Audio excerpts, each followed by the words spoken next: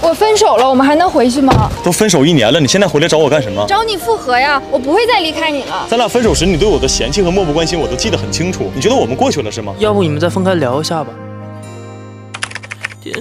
我们在一起刚好两年，他在我们两周年纪念日的时候提的分手，还打电话告诉我不要再缠着他了。可是当初不是他先来招惹我的吗？我第一次见到他的时候是真的喜欢他，可后来发现有些人只适合当朋友，当发展成恋人就会有各种争吵。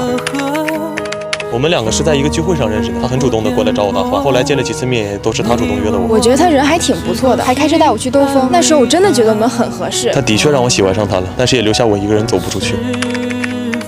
碰他的人，却不能碰他的手机。两年了，我连他的手机一下都没看过，甚至连他的密码是什么我都不知道。为什么一定要看我手机啊？我不喜欢别人看我手机，我看他根本就是不信任我。我不明白一个人是怎样从满眼都是你，到完完全全变成了一个陌生人一样。就连我都给他打两个电话，他都要跟我发脾气，指责我说我没有自己的生活吗？我不喜欢他总这样黏着我。就算我们在一起了，不应该保持点距离感吗？我们每个人都应该有自己的圈子吧。我从来没有用过他对我的方式对他，我怕他难过，可是他却一点都不害怕我离开他。他在分手的时候还在考虑自己别被纠缠，那时候我就知道不爱就是不爱。可这次我不是回来了吗？分开这一年，我想明白了，我知道自己想要的是什么样的一个人。人只有在失去之后才知道自己想要的是什么。愿意。